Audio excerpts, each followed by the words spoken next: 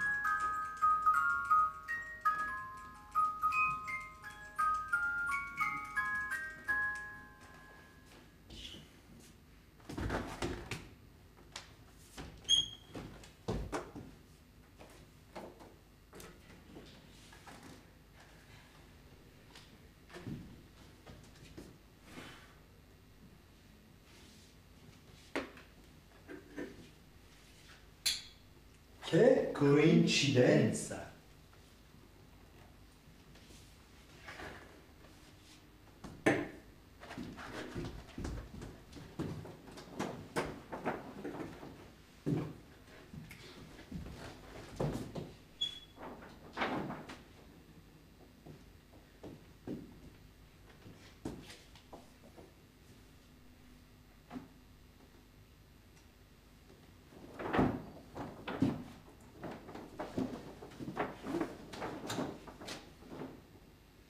Che coincidenza!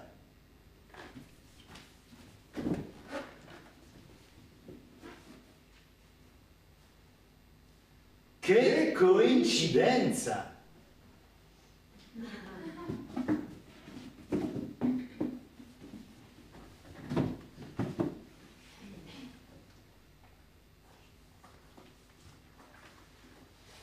L'uomo ha sempre giocato. Poi ha inventato le regole. E poi ha inventato lo sport. Che coincidenza!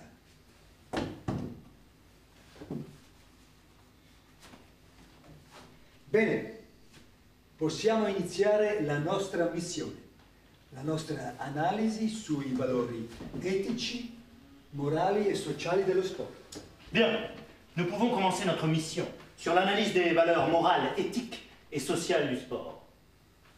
Attention au départ Preparatevi per la partenza!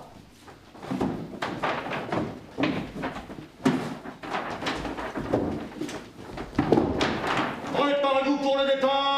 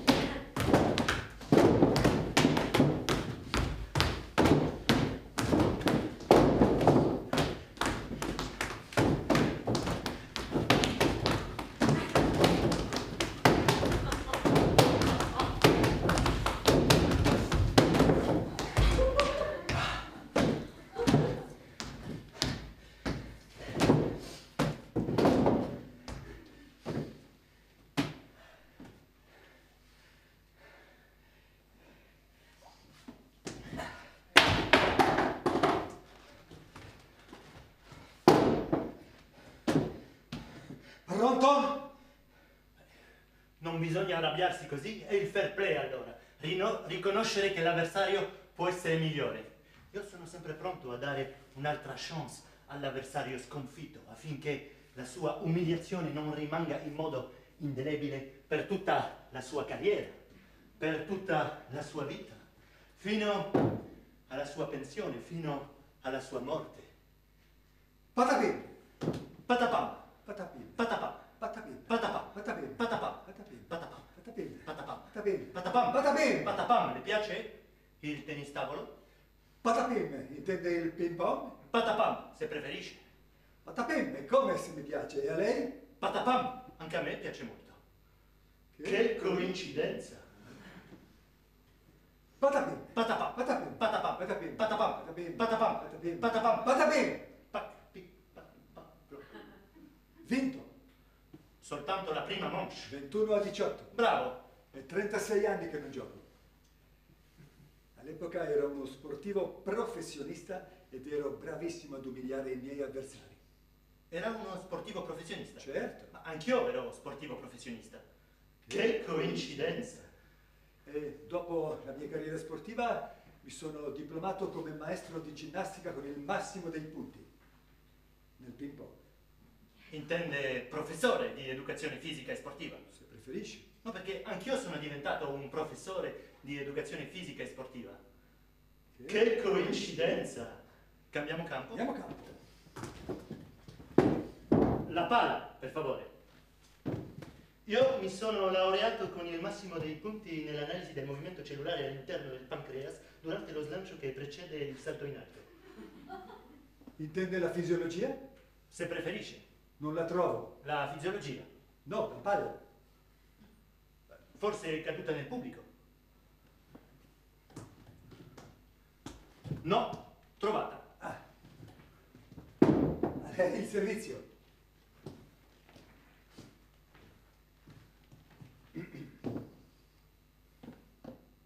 Pronto.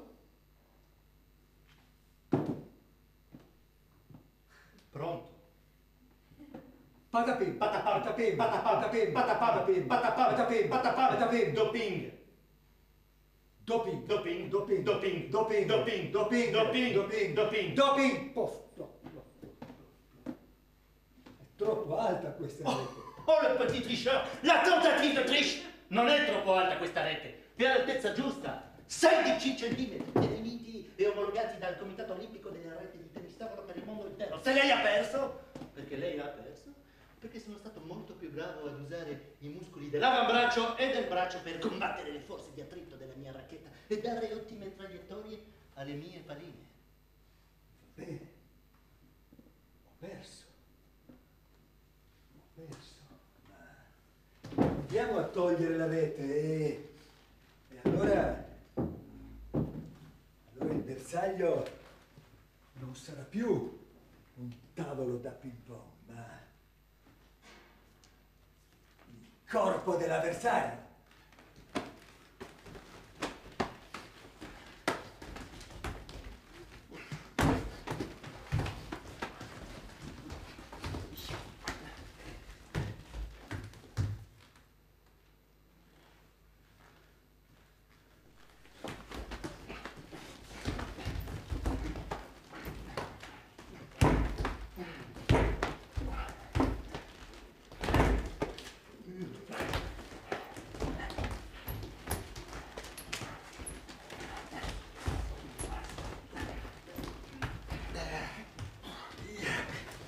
Patapim!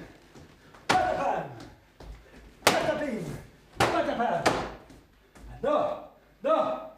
Calmati, calmati, rilassati, rilassati. Sei troppo nervoso, Je suis trop nerveux. troppo agitato. Allora immagina, J'imagine quoi immagina che fa freddo e, e che cade la neve. E la neve ti calma, ti rilassa, distende i tuoi tendini, i muscoli, il plesso solare, il bacino, le ginocchia, le. Ma no, non devi addormentarti prima della gara. Allora immagina che la sedia è vuota. La sedia è vuota. No, immagina che l'avversario ti ha rubato dei soldi.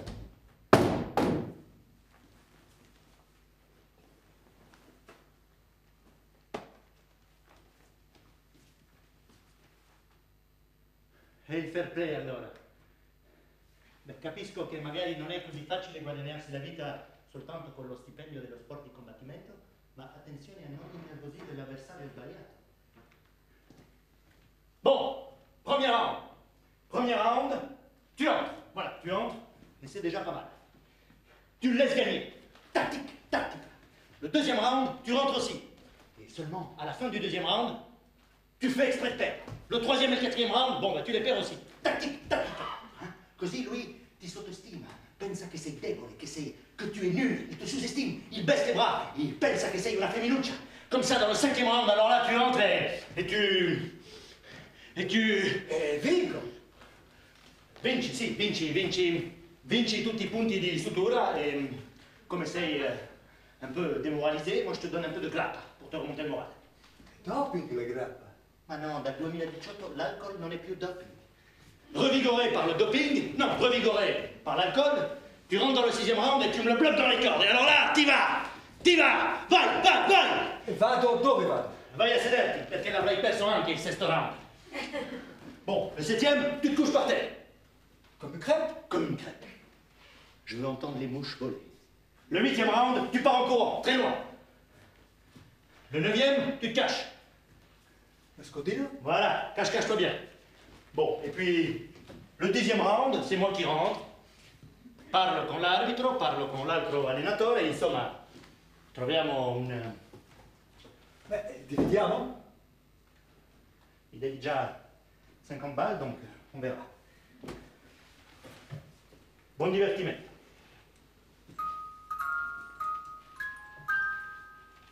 E non dimenticare che l'importante non è vincere, ma partecipare.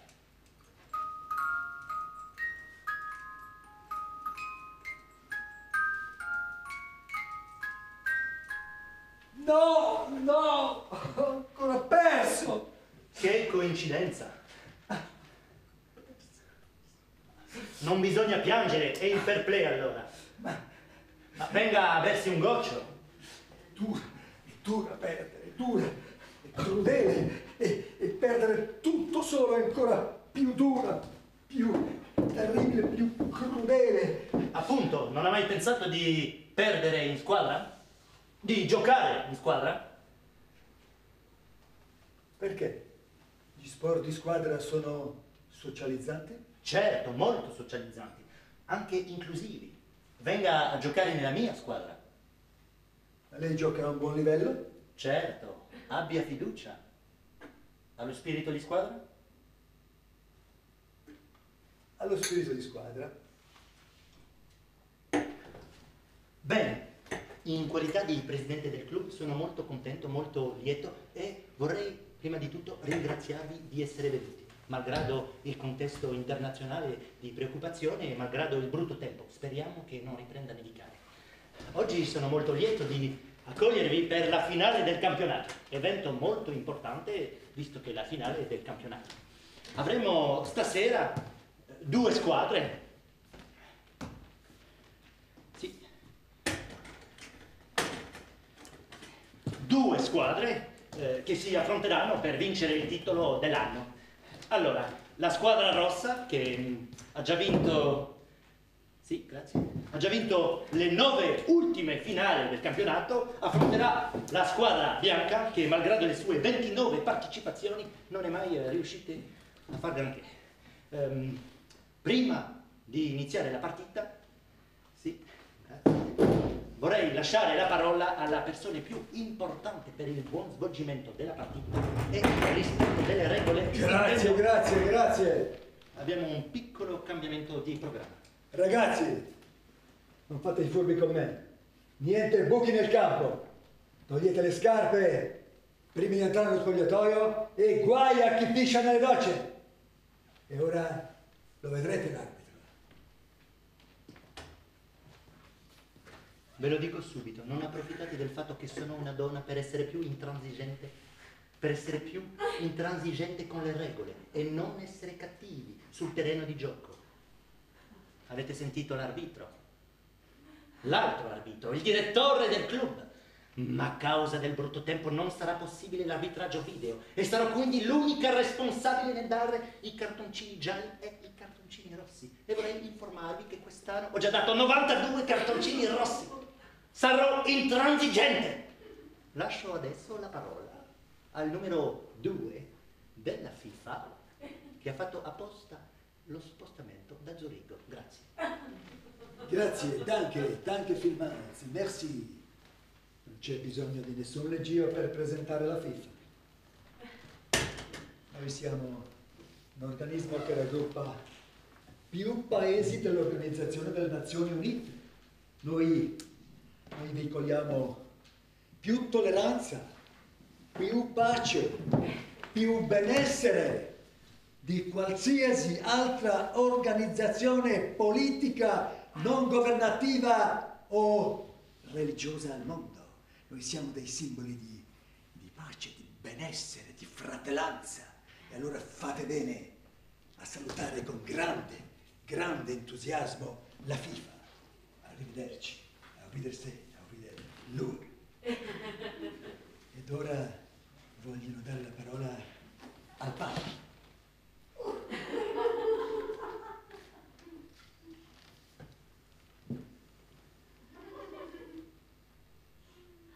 Deseo que el partido de hoy sea como el Super Bowl de este año. Un ejemplo que es posible ir más allá del propio interés personal. El deporte Super Bowl nos demuestra que es posible vivir en un mundo de paz, de amistad y de solidaridad. Antes de empezar el partido, me gustaría dedicar un minutito de silencio a todas las flores, a todas las plantas y a todos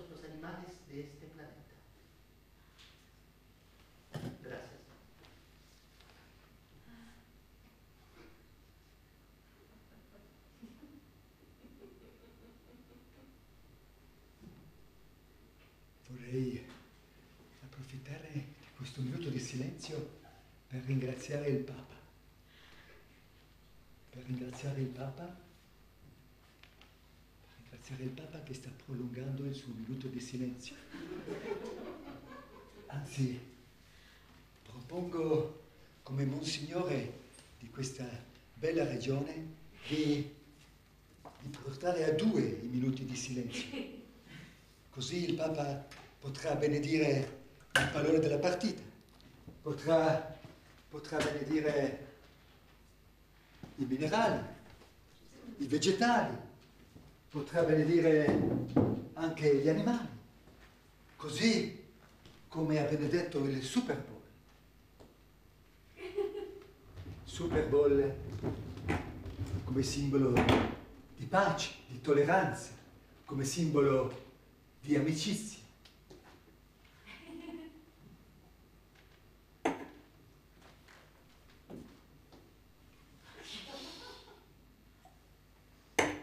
Ma soprattutto come simbolo di rispetto.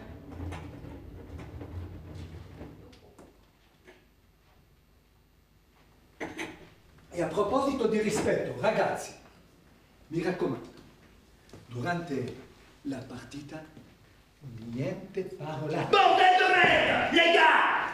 Bordel de merde, les gars! On est ici chez nous! On est ici, chez nous! On joue sur notre terrain avec nos couleurs, notre maillot, rouge, sang, traduction De quelle couleur est le maillot? De quelle couleur est le maillot? Euh, Rosso, rosso sangue.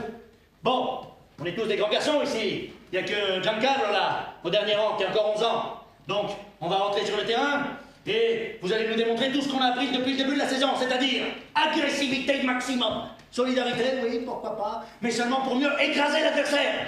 Synonyme Annientare, demolire, distruggere. Asphaltare Vous avez entendu l'arbitre? Pas d'arbitrage vidéo. La VAR est en panne.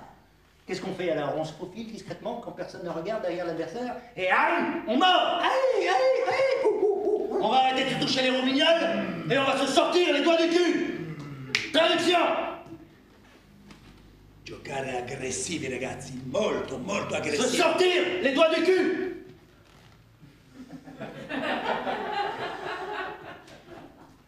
Togliere la paglia dal culo. Voilà Togliere la palla del culo Bene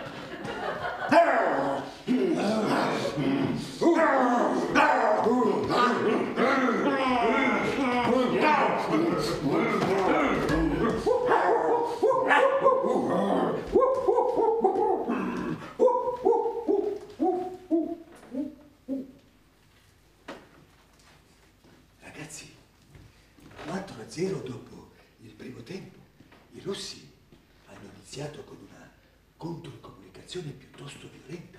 Vediamo, vediamo cosa dice il vostro allenatore che sta arrivando. Bene, ragazzi, avete visto che ha ripreso a nevicare. Magari questa è la nostra fortuna. Noi, squadra bianca, potremo camuffarci nella neve. Approfitto di questo momento di pausa per ricordarvi due punti essenziali. Non lasciarti prendere dalla neve. Allora, il gioco non è la somma di passaggi e di tiri, ma i tiri è il risultato di una comunicazione complessa e dinamica. La smettiamo quindi per favore con i gestemi troppo evidenti. Quando volete la palla, non state immobili con la mano in aria. Quando non sapete cosa fare, non rimanete con le braccia penzoloni. Usiamo per favore dei prassemi più complessi, come per esempio la chiamata, la contrachiamata, la finta di passaggio, la corsetta indietro, il passaggio indietro, la finta di tiro e la corsa di appoggio. La contraccorsa di appoggio. E la corsetta incrociata all'attacco. E il contrattacco. E si ricomincia. State attenti alla metacomunicazione.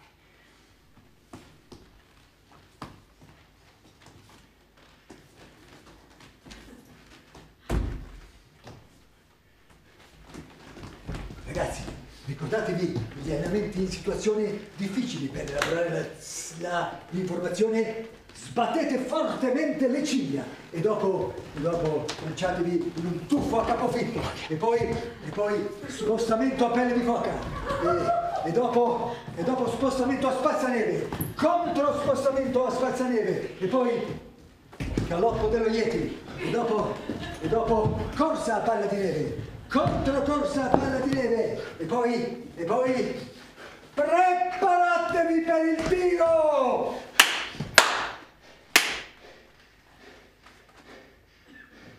Io, ultimo degli undici giocatori della squadra bianca, intravedo nell'altra parte del terreno i tre attaccanti della squadra rossa palla al piede. Avanzo, per mettere il mio corpo come ultima barricata tra loro e la sconfitta. Il primo sta preparando il suo tiro. Il colpo è violento, ma riesco a rialzarmi. Il secondo tira anche lui.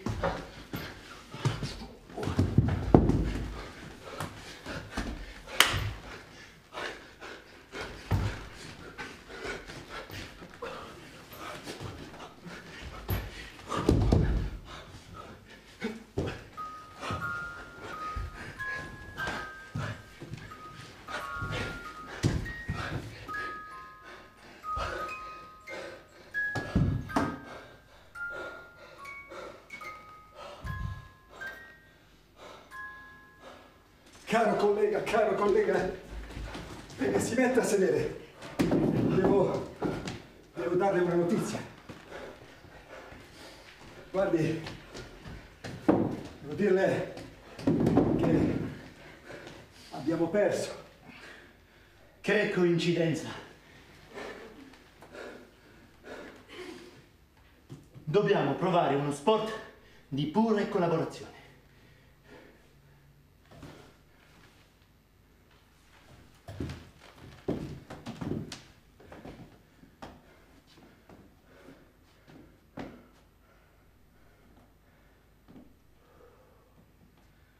Uno, Due. tre. Ma non si è tuffato? No. Tuffato. No. Che coincidenza. E, e perché non si è tuffato? Non mi sono tuffato perché lei non si è tuffato. Se lei si fosse tuffato, mi sarei tuffato anch'io. Bravo. Grazie. Se lei si fosse tuffato sarebbe caduto tutto solo nell'acqua gelida. Al tre dobbiamo andare insieme. Sì, al tre, hop, si salta. E la nostra solidarietà vince la paura del freddo. Uno, due. Aspetti, aspetti. Buon chance.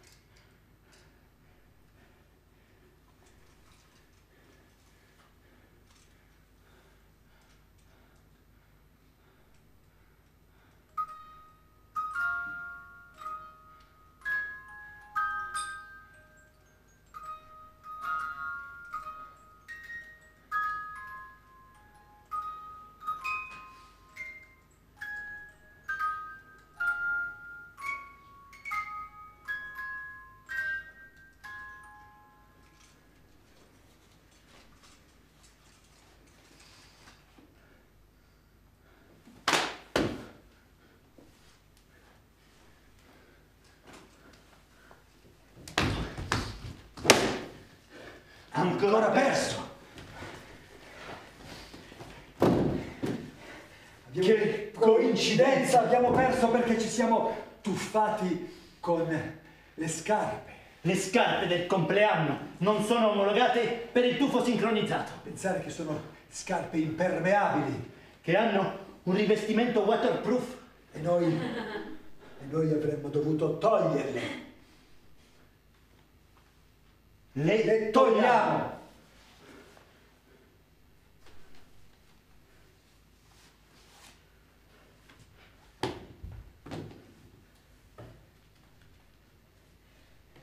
E noi che avevamo come missione quella di valorizzare lo sport contemporaneo, Nous qui pensions que le sport favorisait l'innovation, favoriva l'immaginazione, que le sport favorisait la créativité, favoriva la fantasia, nous nous rendons finalement compte que le sport favorise l'exclusion, favorisce la dominazione, que le sport favorise l'élimination, che lo sport favorisce l'egoismo, que le sport favorise la soumission.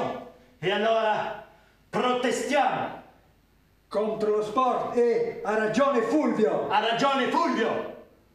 quando dice che, che lo sport ti prende Lo sport ti mastica e lo sport ti sputa e ti lascia da solo. sul marciapiede. E allora noi protestiamo contro lo sport che non è socializzante. e neanche educativo. E scriviamo.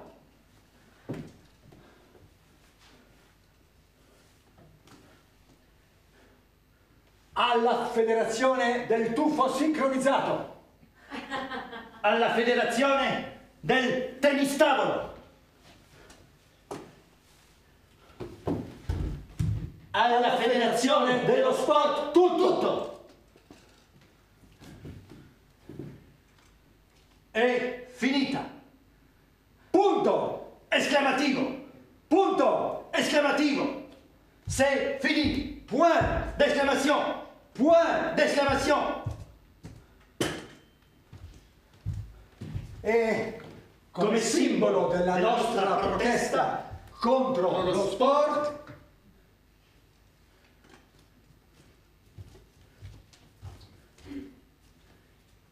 mettiamo le scarpe del compleanno nell'angolo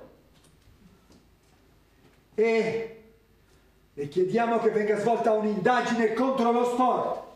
Sono l'avvocato della Federazione dello Sport e nel mio ruolo di avvocato della Federazione dello Sport difenderò lo sport fino alla mia morte. Sono un gendarme antidoping. Sono, sono un gendarme anticorruzione. Sono un gendarme antiriciclaggio. Sono un gendarme antimolestie. Sono, sono un gendarme antisport. Sono sempre l'avvocato della Federazione dello Sport, sono dietro la mia scrivania e ordino i miei dossier. Sono un gendarme antisport. Sono dietro la porta e sto per suonare. Mi chiedo chi sarà mai? Scusa, ma non vedi che sono io? Certo che vedo che sei tu. Faccio finta di non vederlo. Sto facendo il ruolo dell'avvocato. Rifacciamo. Sono un gendarme antisport. Sono... Ma lasciami il tempo di ordinare i miei dossier. Sorprendimi in pieno lavoro.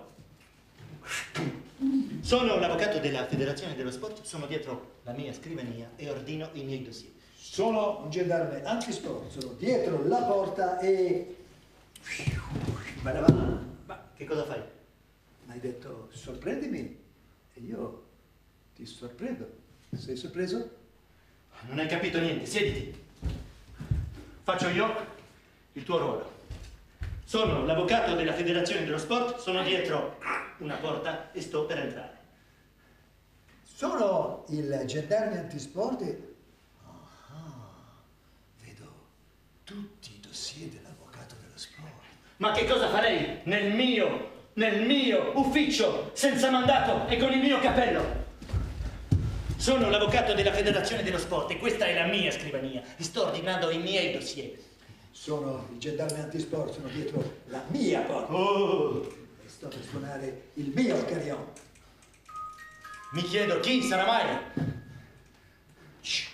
Senti, la prossima volta ti suono tutta la melodia, così sai che sono io. Sono l'avvocato della Federazione dello Sport ed è meglio che distrugga tutti i miei dossier. Sono il gendarme antisport ed è meglio, ed è meglio che lo sorprenda in pieno lavoro. Baravam! Sono qui con un mandato. Eh, sono qui con una pistola. Eh, Sono qui per arrestarla. non voglio più giocare. Aspetti, aspetti. Negoziamo. Va bene, negoziamo, ma la negoziazione si deve svolgere senza armi. Bene, allora via tutte le armi. Ma eh, il giavolotto è un'arma, va bene, via il giavolotto, ma l'arco è un'arma, via l'arco, ma eh, il fucile da sparo è un'arma, va bene, via il fucile, il, fioretto, il fioretto è un'arma, via il fioretto, e, e la spada eh, è un'arma.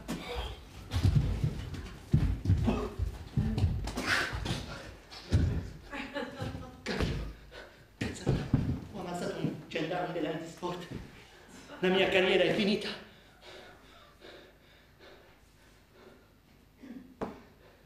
Ma guarda che sto facendo finta. Allora via la spada. Ah, il martello è un'arma. Va bene, via il martello. La racchetta da tennis è un'arma? Via la racchetta da tennis, la borraccia è un'arma, ma la pistola è un'arma? Allora via la pistola e negoziamo. Mi dia... Mi dia l'anabolizzante A18. La 18 ormai non si usa più da, da 30 anni. Ma negoziamo. Posso proporle sangue di ghepardo. Sangue di ghepardo per eh, i 100 metri? I 100 metri. Si usa anche molto per il tennis tavolo, il sangue di ghepardo. E dov'è il ghepardo? Dov'è il ghepardo? Una buona domanda. La federazione del calcio, dopo di un viaggio in Sudafrica, hanno voluto scambiare il ghepardo con un'altra federazione. Adesso non... Ho capito. Avete fatto sparire un ghepardo. Allora mi dia, mi dia il beta bloccante B24. Abbiamo esaurito tutto con gli ultimi giochi olimpici. Ma posso proporle tendini di Achille del canguro Per il salto in lungo? per il salto in lungo, per il salto in alto, per il tuffo sincronizzato. E dov'è il canguro? E Dov'è il canguro? Una buona domanda. Il- la, la federazione del pallacanestro, dopo di un viaggio in Australia, l'hanno cambiato con un Eh, la- Capito, ho capito, avete fatto sparire anche un canguro. Mi dia l'ormone della crescita numero... Numero uno. No, Il numero due. no, Il numero 33. bravo! Ecco, lo sapevo, il 33. Mi dispiace, abbiamo usato tutto per l'ultima competizione di curling. Però posso proporle l'ultima mercia sul mercato. Sperma di toro. E dov'è il toro? E dove il toro, la federazione del rugby, dopo di un viaggio in Spagna, poi l'hanno cambiato, l'hanno regalato a quelli del Super Bowl e, boh, insomma, il toro... Hanno fatto sparire anche un toro. Porca vacca! Ah!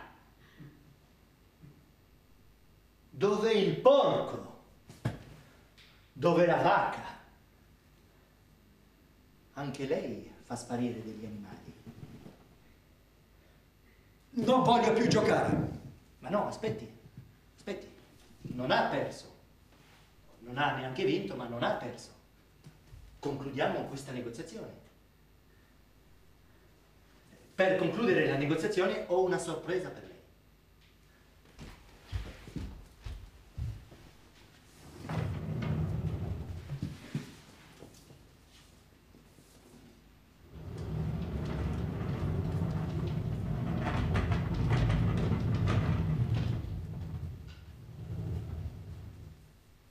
La Federazione dello Sport, che rappresento come avvocato, le regala una torta win-win.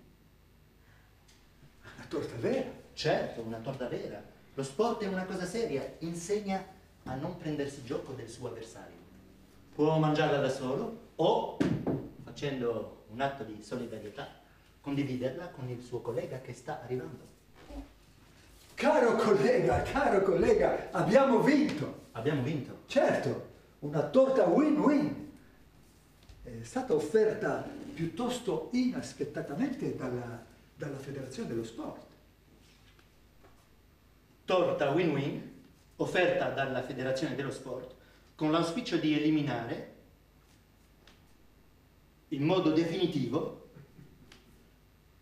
tutte le nostre divergenze.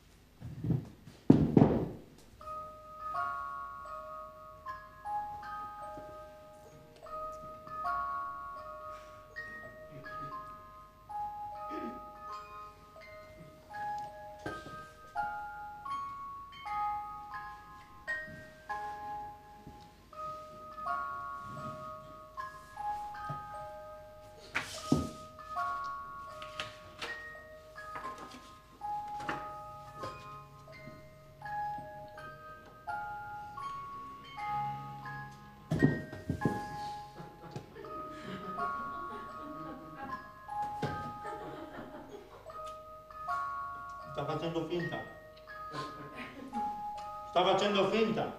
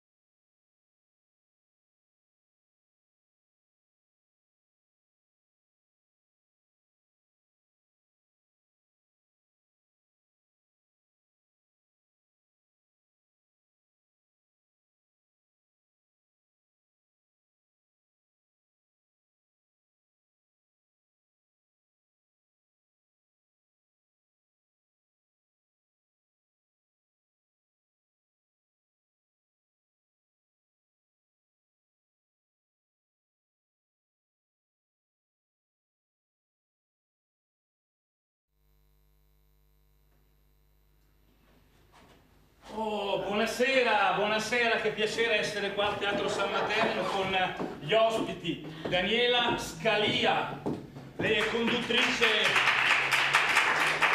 c'è Luca Guercilena che si siede qui, ha già perso la Trebisonda perché è stato colpito dalla performance di Faustino e di Enrico, Fulvio Sulmoni e poi, l'abbiamo visto poco fa, Enrico Ferretti.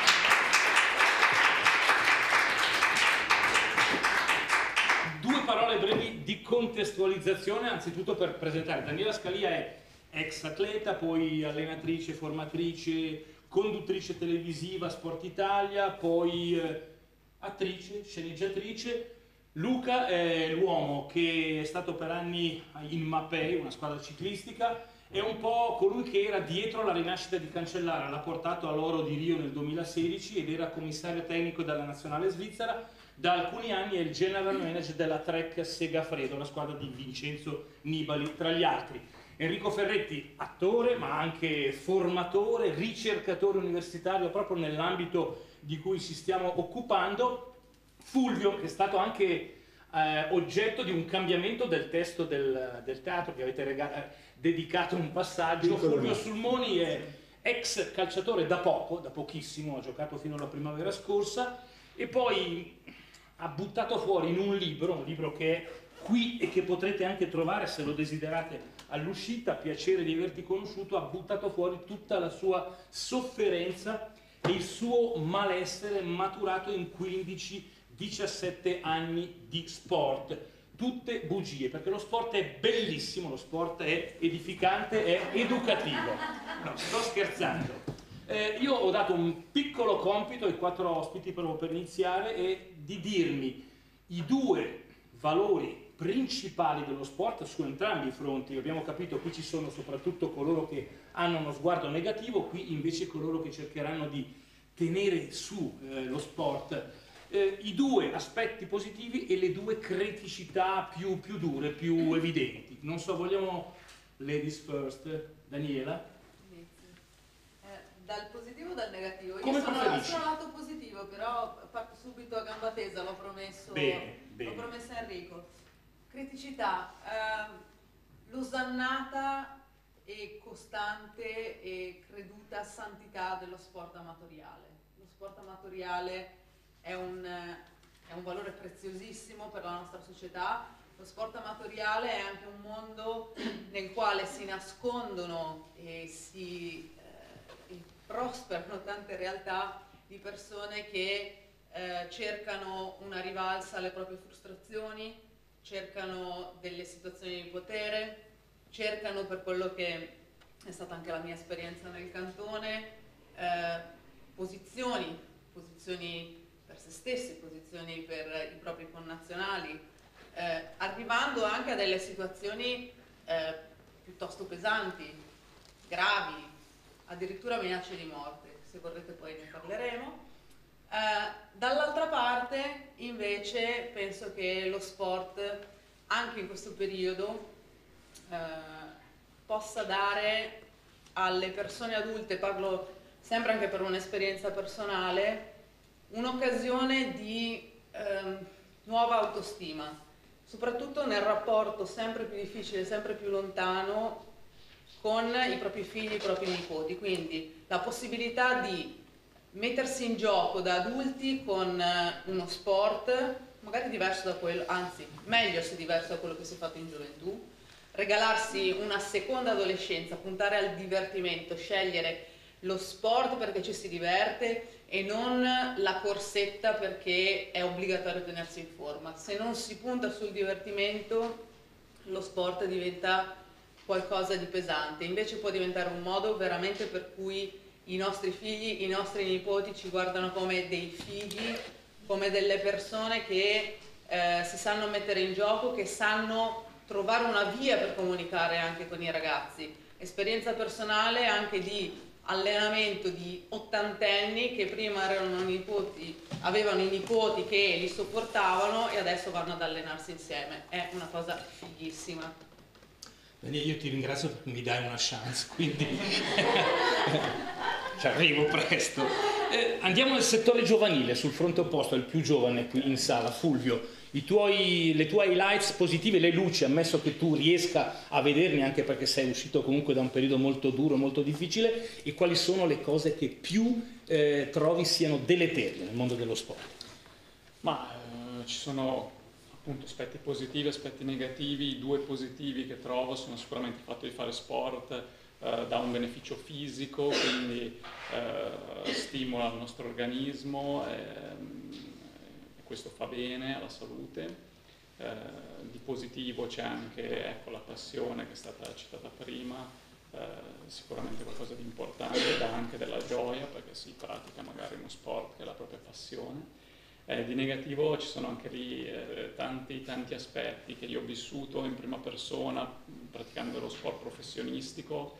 Eh, devo dire che oggigiorno purtroppo lo sport professionistico, beh io ho praticato il calcio, eh, è molto ricco, ahimè, eh, e questa grande ricchezza porta a dei conflitti di interesse enormi eh, e questi conflitti di interesse portano ad amare più il denaro delle persone e quindi le persone vengono proprio un po' schiacciate nel mondo dello sport, utilizzate, manovrate eh, a piacimento proprio per, per, spostare i capitali principalmente.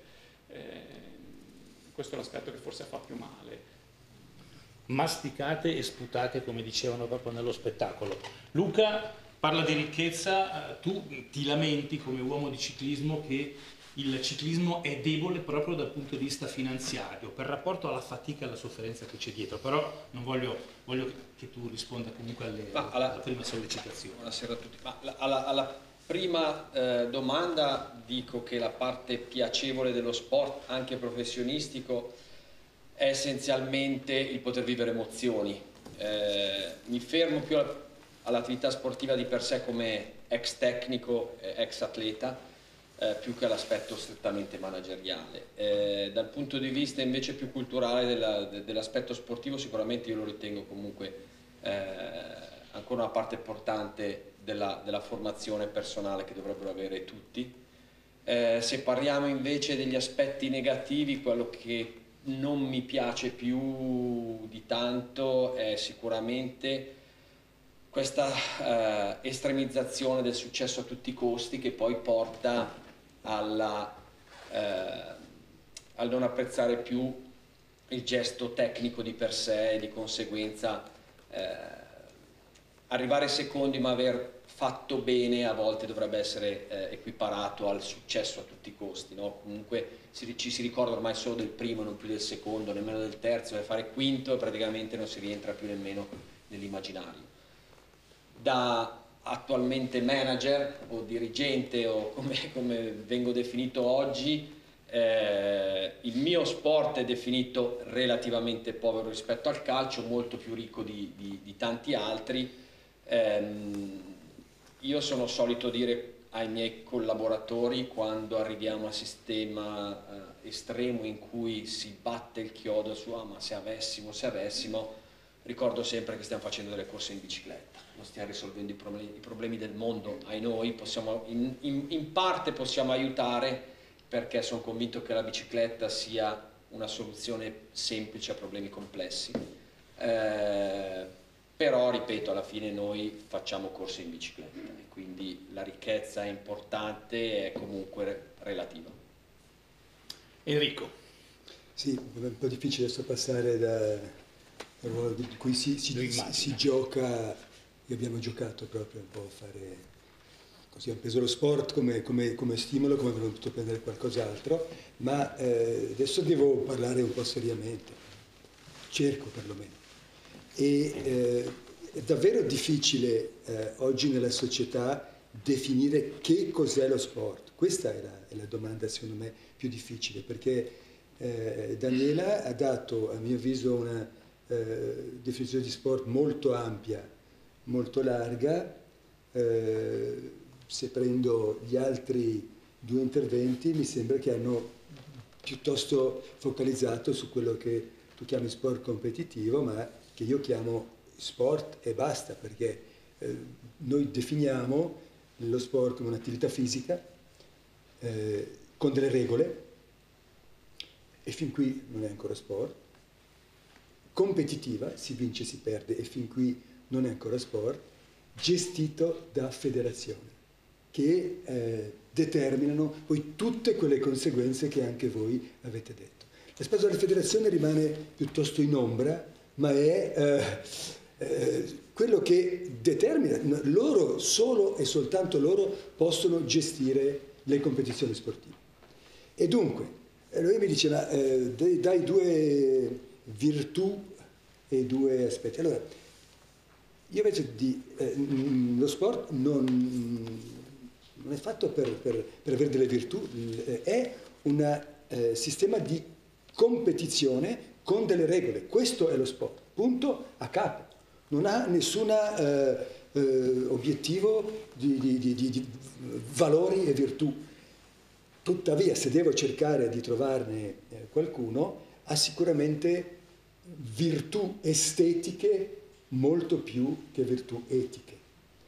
Questo per dare un attimino di... Eh, non so se basta così, oppure, oppure, posso continuare, magari poi trovo ancora qualcosina di positivo durante la... Sì. Beh, io tante volte eh, penso se abbia senso, cioè sì, ha senso, comunque eh, puntare il dito contro lo sport e ne faccio una questione di percentuali, ma in fondo le situazioni negative rispetto alle numerose situazioni positive sono eh, degne di essere eh, considerate effettivamente marcanti.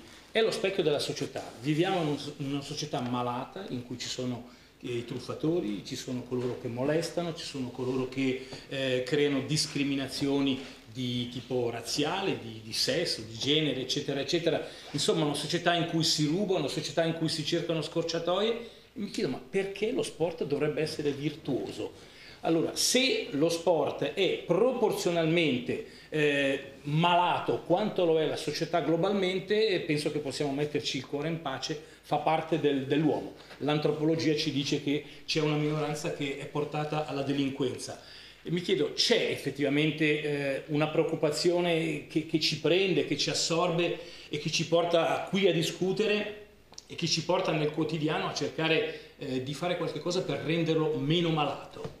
Non so chi vuole... Perché altrimenti prendiamo e andiamo a casa. La società è così, è malaticcia, lo sport ne è una delle sue conseguenze, come lo è, che ne so, un altro, un qualsiasi altro ambito a mio parere il, il, valore dello sport sta proprio nel rompere questa tipologia di, di, regola. In modo molto complicato si riesce non sempre, però sono convinto che quando il, il ragazzino per emulazione imita il calciatore di turno, il ciclista di turno, comunque veda un esempio positivo. Poi sta al calciatore, al ciclista di turno essere realmente un, una persona virtuosa al di fuori anche di quello che è l'ambito eh, strettamente sportivo. Ehm, è ovvio che siamo lo specchio della, della società, ma credo che l'umanità di per sé non, ha, non, non, sarebbe progredita se fosse stato tutto così, così negativo. Poi a me siamo, siamo persone, sicuramente c'è una buona componente di fallimento all'interno dello sport, soprattutto professionisti. C'è qualcun altro che vuole intervenire? Altrimenti io ho una domanda per Daniela. Io, io, io sì, volevo, questo tema io volevo fare un'accusa invece al giudice. Bene. In questo, più che un'accusa, è una, una constatazione, una considerazione che, che, condivido con te sul piano della, del nostro essere colleghi come giornalisti sportivi. La comunicazione in questo senso fa tantissimo, cioè l'esaltazione, le epopee sportive, le epopee sportive al negativo, le demonizzazioni, poi la caduta dell'eroe è un, un topos clamoroso che, che, si porta avanti e che, che, nel mondo dello sport è fortissimo e che serve per fare, per fare i, tit i titoli, per prendere i click. E quindi su questo secondo me c'è tanta responsabilità da parte della comunicazione giornalistica sportiva. Enrico, avevi... Sì, riguardo proprio l'aspetto eh, della società malata. Su questo penso c'è poco da dire, le persone che fanno sport, quelle che non lo fanno, ne possono essere di eh, eh, più etici e di, e di, meno etici.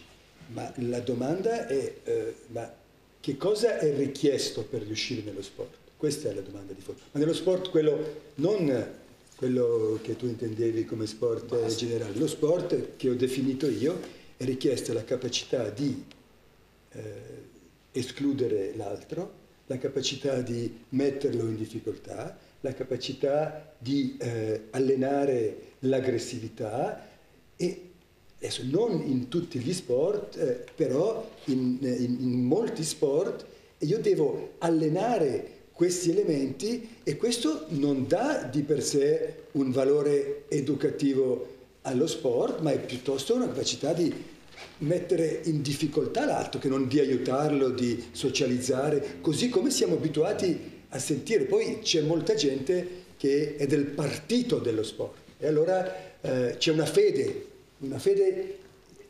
incondizionata nello sport. Uno è eh, un tifoso, un appassionato, eccetera, e crede formalmente, fermamente, scusate, che lo sport abbia delle virtù benefiche. Ma lo, lo, molta gente lo crede quella parte, è chiaro che se eh, le, eh, vado a passeggio con il cane lo considero sport, vado a, in montagna e lo considero sport, questo si sa che sono delle cose che sono, eh, portano soltanto dei benefici, però la capacità di mettere l'altro in difficoltà è un elemento che non appare mai eh, in modo eh, determinante sullo sport. E quando poi si arriva a livello educativo si tende a riprodurre, ad emulare quello che vediamo nella società e riprodurlo, di, ma se lo fanno loro, se lo fanno ai giochi olimpici, ma ci sarà pure una ragione. L'importante è vincere, eh, non è partecipare. Fulvio ti riconosci in quello che dice lui? Ma uh, quello che l'importante è vincere piuttosto che partecipare, uh, sì, è chiaro, alla fine sta alla base un po' del, della competizione sportiva. Uh, io sono qui come accusatore chiaramente, ok, però no, io riconosco però nello sport dei, dei, dei valori anche eh, secondo me positivi, nel senso che Uh, se pensiamo ai ragazzi che praticano sport, ecco, nelle ore dove praticano sport non sono a zonzo in giro per, per la città piuttosto che a fare altri tipi di attività magari meno, meno educative. Eh, nel senso che lo sport comunque ti porta anche a, a dover rispettare delle regole e questo mm, è un qualcosa di positivo, eh, ti porta a confrontarti con te stesso eh, e a superare i tuoi limiti. Mm, e anche questo lo trovo eh, importante, mm, ti obbliga a fare fatica, eh, cosa che spesso magari adesso i ragazzi hanno, hanno, poca, hanno poca, volontà di fare. questi sono i veri valori secondo me dello sport, quelli che, che sono importanti anche per dei ragazzi per i quali eh, io, io, io, consiglio ai ragazzi di praticare dello sport. Poi c'è lo sport professionistico o lo sport che non è più sport, ecco, quello, quello sì, io lì lo accuso, lo accuso molto, eh, meno lo sport eh, così, giovanile o amatoriale. Premetto che non mi identifico nel ruolo di giudice, non mi permetterei, modero più che altro perché in un'ora processare un fenomeno così colossale sarebbe velleitario. Eh, Daniela, lo sport esclude, lo sport comunque crea delle gerarchie, lo sport anche a causa del nostro lavoro mediatico eh, crea delle classifiche, ci sono sport di serie A, di serie B, sport ipermiliardari, sport poveri, eh, citavo in un altro dibattito il fatto che per esempio la, l'atleta più vincente della storia, Simone Nigli Luder, 23 titoli mondiali, pochi credo la conoscano, è un orientista che penso avrà guadagnato il rimborso spese per andare alle gare in tutta la sua carriera, eh, mentre il terzino del Crotone probabilmente guadagna 100.000 volte più di lei. Ma parliamo di, di donne, sport al femminile, cioè, siete massacrate dal sistema. Io ho individuato due discipline in cui c'è una certa equità, lo sci Credo che Schifrin sia star tanto quanto Marcel Hirscher e colleghi e il tennis, Venus Williams e compagnia bella eh, tengono il passo con, anche a livello proprio di vincite, di sponsorizzazioni dei vari Federer Nadal, ma in tutte le altre discipline e lui ne sa qualcosa perché dirige la squadra maschile e anche quella femminile Trex e Gaffredo, la donna è massacrata, discriminata. Tu se ne esce secondo te e come? Eh, si sta lavorando, anche qui, anche in questo chiaramente c'è eh, uno specchio della società, cioè la donna che fa sport, che fa sport a livello agonistico, professionistico, non, fatichiamo a vederla in altri ruoli, eh, è, è capace di ricoprire più ruoli. C'è una grossa battaglia in questo momento che io diciamo, ho, ho un po' vissuto e seguito a cavallo tra eh, la professione di giornalista sportiva che io ho lasciato sette anni fa perché, questo di televisione italiana, eh, cioè, all'epoca mi chiamavano Rita Levi Montalcini in, in redazione e, e gli spettatori mandavano le mail dicendo lascia, eh, la scalia deve lasciare più posto alle, alle ragazze più giovani. Esatto. Non, non, avevo, non, avevo, 86 anni, ehm, ero stata una, una, giornalista sportiva che si era messa in gioco scendendo dallo sgabello, andando a giocare e, e, affrontando delle sfide sportive per le quali sono stata anche seguita ma anche molto criticata. No? Ehm, poi ho fatto un passaggio eh, diventando anche produttrice di una serie televisiva dedicata proprio all'investigazione nel mondo dello sport e quindi tutto l'aspetto del Me Too e tutte queste cose che purtroppo sono, sono vere, sono reali, non mi piace quando c'è poi l'esagerazione dall'altra parte, non mi piacciono necessariamente le quote rosa, eh, secondo me una persona deve arrivare perché qualunque sia il suo sesso, la forma nella quale si, eh, si identifica, deve arrivare perché ha dei valori, perché vale, non perché identifica. E questo tra l'altro è un altro aspetto anche che nello sport professionistico, quello delle quote, eh, è un altro tema abbastanza delicato. Eh, c'è questa eh, forma adesso comunque di maggiore attenzione, di maggior sensibilizzazione per arrivare ad essere professioniste riconosciute perché eh, anche per esempio so, le pallavoliste che sono eh, molto mediatizzate, che sono molto visibili, che sono anche pagate perché hanno comunque contratti con sponsor così, ma non sono effettivamente riconosciute dalla, dalla federazione, dalla propria federazione come delle professioniste. C'è stato un caso di recente in Italia di una pallavolista che è rimasta incinta e semplicemente non aveva l'indennità di maternità e, e sembra, se, sembra, assurdo pensarci, no?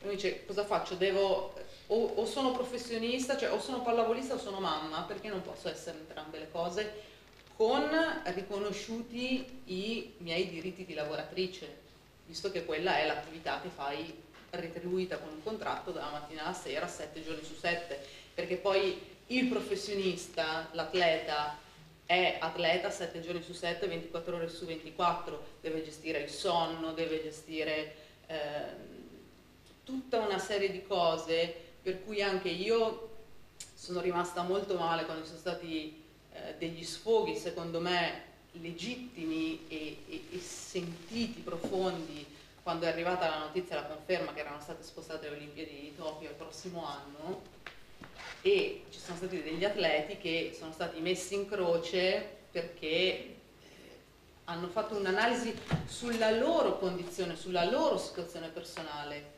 E è stato detto, ma voi non pensate ai morti per Covid.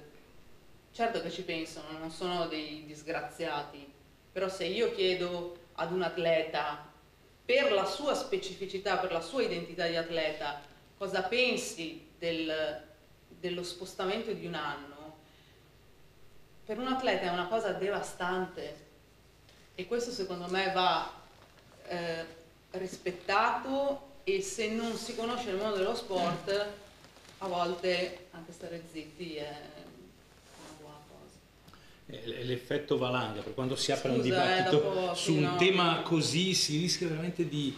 eh, beh, l'effetto è complesso, no? Tu, un, un babbo vuole bene a tutti i suoi figli in ugual modo, tu curi la squadra femminile come quella maschile o... Eh, sono due, al- eh, sono due mondi diversi, due mondi diversi, diversi con regole diverse. Scusa, cioè, parentesi, su questo aspetto qui anche al femminile, rimandare alle Olimpiadi di un anno vuol dire che magari una donna rimanda la di un anno la maternità. Ma, eh, per mi riallaccio, eh, noi abbiamo deciso di fare la squadra femminile su fortissima spinta americana, la società no- per cui lavoro è americana. Ehm, non lo nego, ero scettico, non per gli aspetti sportivi di per sé, torniamo al discorso di prima per questioni di budget, perché il budget degli uomini veniva decurtato e si faceva la squadra femminile ed era una cosa spinta, chiamiamolo esclusivamente dagli Stati Uniti per come si diceva il Me Too e quant'altro. Eh, abbiamo creato la squadra, la prima atleta eh, messa sotto contratto era esattamente una ragazza che era stata licenziata seduta stante nel momento in cui ha detto che era incinta. L'abbiamo messa sotto contratto, abbiamo iniziato un'operazione in due anni per portare tutte le atlete ad avere lo stipendio minimo uguale agli uomini, che non rientra nemmeno nei regolamenti federali, perché per la federazione internazionale le donne professioniste devono prendere, non ricordo esattamente, ma 45.000 euro lordi minimo a stagione, gli uomini 65, noi abbiamo portato tutti a 65. Ehm, e questa è una parte, mi riallaccio, delle cose buone dello sport, comunque possiamo essere di, esempio, no? e siamo l'unica squadra al mondo che lo fa. Ehm, detto questo, se poi torniamo dal punto di vista strettamente sportivo, ci vuole moltissima esperienza a lavorare con una squadra femminile eh, rispetto a una maschile. Mm, primo per questioni di numeri, cioè, il ciclismo è uno sport strettamente maschile, cioè il 95-90% ormai praticato, è, è sempre stato maschile, ma parlo di tutta la struttura, cioè io le prime eh, te- fisioterapiste donne le ho viste forse 7-8 anni fa in presenza costante, se no erano tutti uomini. Ehm, il settore femminile vive di, di- di tutt'altre strutture, vengono da un mondo amatoriale, amatoriale nel senso dilettantistico, non amatoriale dei cicloamatori, dilettantistico, quindi con de- eh, gente che prende 5.000 euro l'anno, eh, sponsor personali, quindi non abituati a entrare come la mentalità in una struttura professionistica dove ci sono delle regole dettate dal denaro, ai noi. Eh, di conseguenza ci vogliono persone atte a gestire la squadra femminile perché ne hanno esperienza ma che abbiano la lungimiranza poi di farle diventare professionistiche perché comunque una il professionismo lo sappiamo tutti è un mondo completamente diverso ai noi che lo sport di base eh, devo dire che noi ci stiamo riuscendo, quest'anno abbiamo avuto la fortuna di vincere praticamente tutti i ranking internazionali. Ehm, le ragazze stesse si sono molto adattate al nuovo, al nuovo sistema, però vi faccio un esempio banalissimo. Eh, gli uomini viaggiano col pullman, eh, camion e quant'altro per andare alle corse. Quando abbiamo proposta abbiamo imposto alle ragazze di arrivare col pullman alle corse, non lo volevano. No, no, ma noi siamo abituati col camper, non abbiamo il camper piccolo da 5, non c'è problema.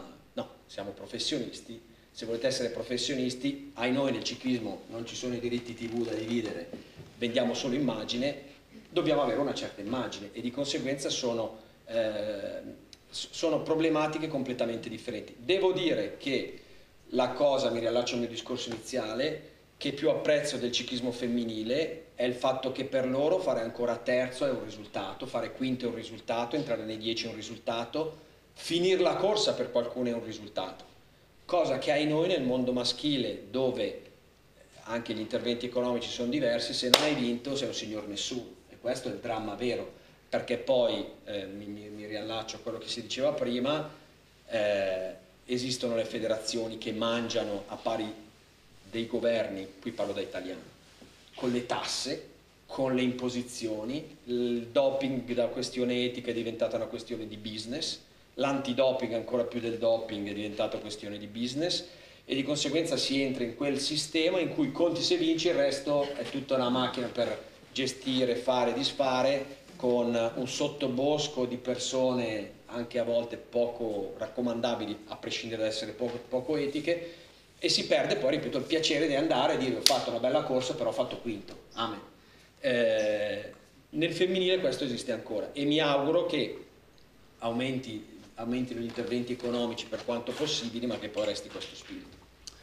Voi avete parlato di federazioni proprio nel, nel vostro spettacolo, mi rilascio a quanto diceva lui, eh, sono complici, sono corre comunque di un sistema perché penso a, alle accuse che sono state lanciate proprio in queste ultime settimane, soprattutto dalle ragazzine della nazionale di ginnastica ritmica e pare che adesso anche la, l'artistica si sia eh, agganciata mettendo a nudo alcuni aspetti che sono piuttosto deleteri.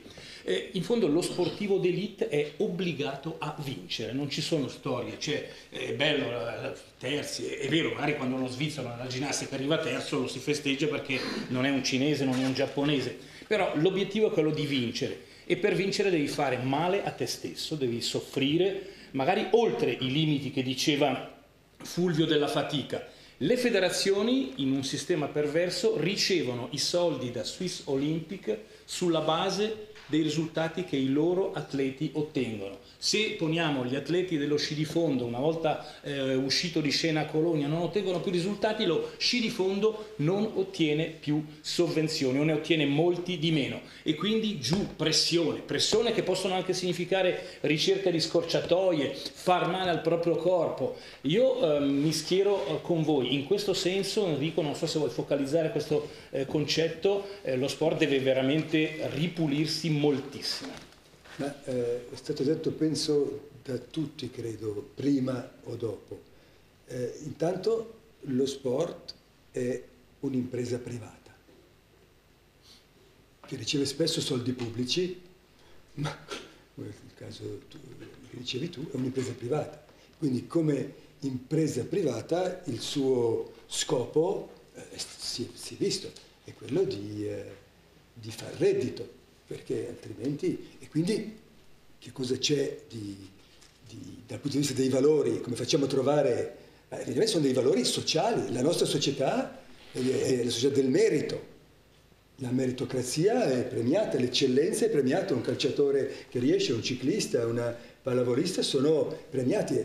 Ok, e, ma perché no? Questo non, non, io non sono contro al fatto di, di, di riuscire, è una cosa che non ho ancora detto, nello sport ci vuole molta intelligenza, cosa che non è scontata, che tutti, qui siamo tutti d'accordo che l'intelligenza sia eh, di tipo percettivo quando sono attività come la ginnastica individuali, sia di tipo collettivo quando si gioca eh, in, in un'equipe. E questa queste federazioni sono spesso delle multinazionali dello spettacolo. Il Comitato Olimpico, la, eh, la Federazione di Nuoto americana, muovono dei, dei budget colossali.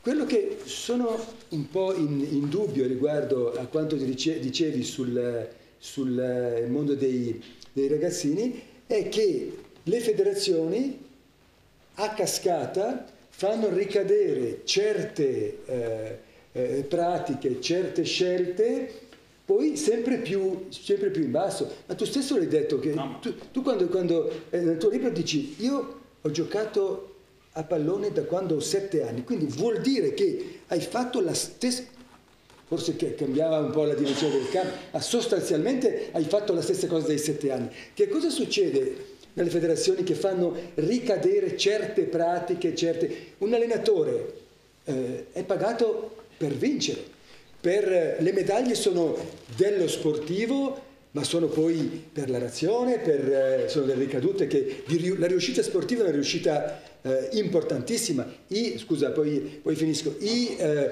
politici di tutte le, le, le eh, di tutti i partiti si fanno fotografare di, di, di, di, fronte ai migliori sportivi della loro nazione, quindi è sicuro che, che questo aspetto è riconosciuto come qualcosa di importante.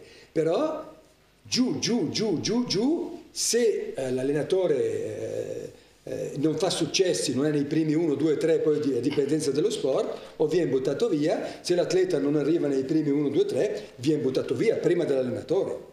E dunque eh, eh, questa pratica io l'ho vista, l'ho sentita arrivare anche a eh, livelli che non dovrebbero essere così. Poi ci sono degli psicologi dello sport che fanno un bel lavoro, che cercano di influenzare questo aspetto, ma io dico che c'è una logica interna nello sport più forte della logica esterna che può dirti un calciatore, un ciclista, una pallavolista, può essere una persona straordinaria che aiuta, che... ma non, non è mica richiesto questo a un allenatore. A un calciatore è richiesto di battere l'altro, collaborare per battere l'altro, questo è, è richiesto. Se noi diciamo no ma va bene giochiamo perdiamo perdiamo quanto vogliamo siamo... allora facciamolo ma non mi pare che si stia facendo, questa è la mia. No, quello che posso dire è che mi è solo, mi è solo anticipato, nel senso che l'aspetto veramente preoccupante che io vedo ultimamente eh, è che appunto si stanno applicando le stesse dinamiche dello sport professionistico con i ragazzini e questo è inaccettabile. Eh, ci si nasconde dietro a un voler creare talenti, a questo io parlo adesso del calcio, calcio d'elite, creare sportivi d'elite, ci si nasconde dietro questi concetti, ma si sta facendo del male ai ragazzi, del male perché i ragazzi, i giovani, in età magari anche adolescenziale, non, non possono subire gli stessi trattamenti di uno sportivo professionista. Eh, non posso creare dell'esclusione o creare delle convocazioni nel calcio tipicamente. Adesso vedo che i ragazzini si creano delle rose di 20-25 giocatori però la domenica solo 18 possono andare con la squadra. E gli altri 7 vengono esclusi. No, non esiste. Io ne ho parlato anche con, con dei responsabili del calcio di gli ho detto ma è proprio così necessario che create delle rose così ampie? Quei 7 ragazzi che vengono esclusi per loro è una, è una mazzata è una mazzata per uno sportivo professionista, adulto, consapevole, che ha una certa visione del mondo, figuriamoci per un ragazzino che non può la domenica andare con i propri compagni a disputare una partita. No, non esiste. Ecco, tutte queste dinamiche molto preoccupanti.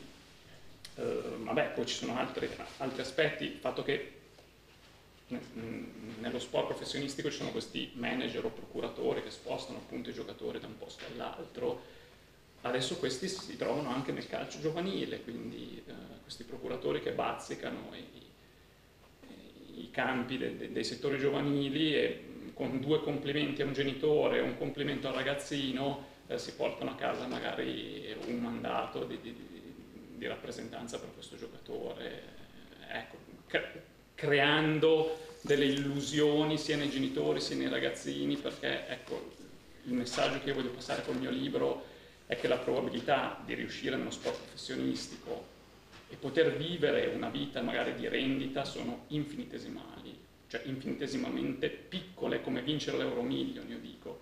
E quindi nessuno si deve permettere di illudere né i genitori né i ragazzini eh,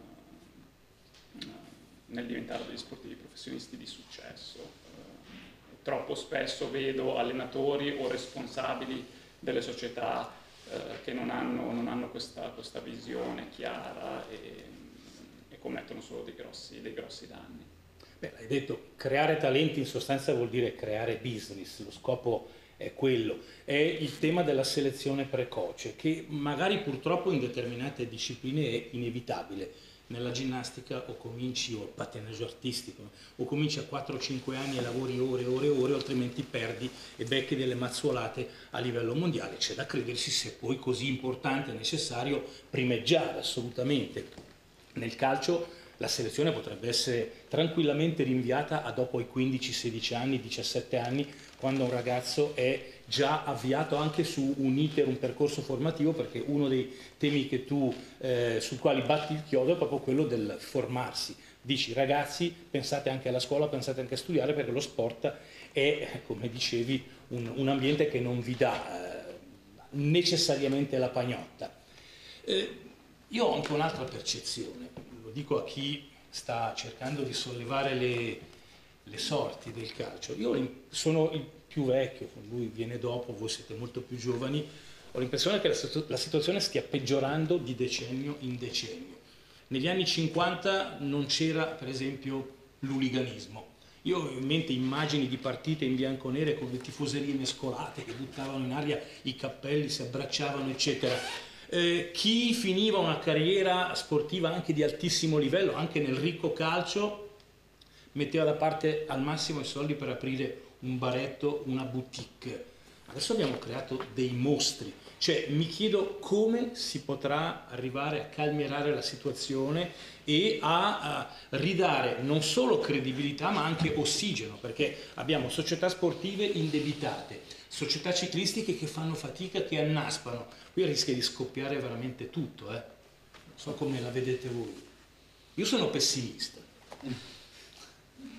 Ma eh, io posso parlare, non posso parlare del calcio perché non ho esperienza, posso parlare del mio sport. Eh, se si parla dei tifosi, il ciclismo è ancora uno sport che unisce fortunatamente e, e si battono le mani a chiunque passi davanti senza problemi, così come a quello che arriva in fondo al gruppetto.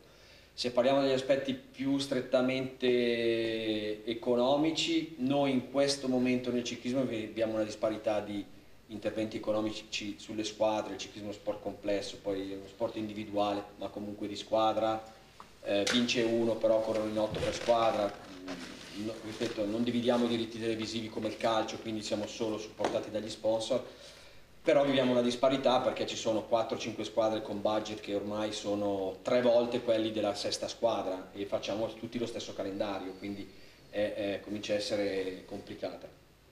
Eh, noi viviamo sicuramente quello che tu dicevi, ci sono sicuramente 10-15 atleti nel mondo per generazione, quindi chiamiamo una generazione 7 anni, 6-7 anni, che sicuramente sono equiparabili ai calciatori alla Cristiano Ronaldo, adesso voglio dire, gente che comunque, magari Cristiano Ronaldo no, però atleti di elite dove possono serenamente per un paio di generazioni successive non, non dover più lavorare.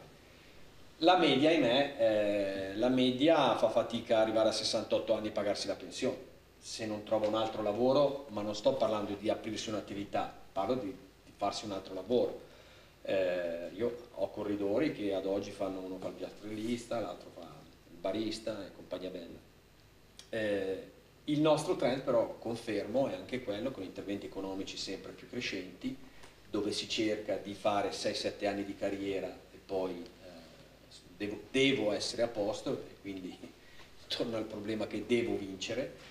Eh, per cui non sono, non sono negativo, sono un ottimista di natura, ma sicuramente il rischio di finire in questa macchina da soldi in cui tutto va solo in una direzione c'è, eh, sicuramente c'è. Calmierare le cose non è semplice, non è semplice perché siamo lo specchio della, siamo lo specchio della, della società. Viviamo di dualismo, cioè questa società occidentale, quantomeno, non sono un grande esperto di, di, di, di culture asiatiche, però quantomeno nella nostra società viviamo di dualismo. Cioè, io devo essere più forte dell'altro. Dissento un attimino di quello che diceva eh, Enrico, perché io credo ancora moltissimo nel valore della sconfitta. È vero che io formo, io personalmente formo atleti e hai ragione, anche quando erano juniores cercavo di portare a casa la vittoria, cioè da tecnico non è che stavo lì a guardare facciamo terzi che è meglio far primi, però credo fortissimo nel valore della sconfitta. Eh, saper perdere per un atleta, per un ragazzino, innanzitutto voglio eh, spezzare un, uno stereotipo, i ragazzini sono i primi che accettano la sconfitta e accettano il fatto che lui è più forte di me se voi andate a una gara campestre di atletica, già in partenza sono lì che, se la, se, che chiacchierano, quella che vince per le altre è l'idolo perché ha vinto, perché è più forte, punto. Non è che si fanno, non sono allenata a poco, tanti qua di là. Eh, e poi esiste il valore della sconfitta, nel senso la sconfitta è sempre un punto da cui ripartire. Poi quelli capaci ripartono, quelli che non sono capaci normalmente si piangono addosso, la colpa è dell'altro, tu c'hai le scarpe più belle, quell'altro c'ha le ruote più gonfie e compagnia bella. Quindi bisogna insegnare a perdere, quello è un valore che è inevitabile così nella vita. Ultimamente a livello aziendale ci sono questi nuovi concetti New Age, in cui in realtà la vittoria viene definita semplicemente come la capacità di potersi adattare all'interno degli schemi economici che si muovono nel mondo.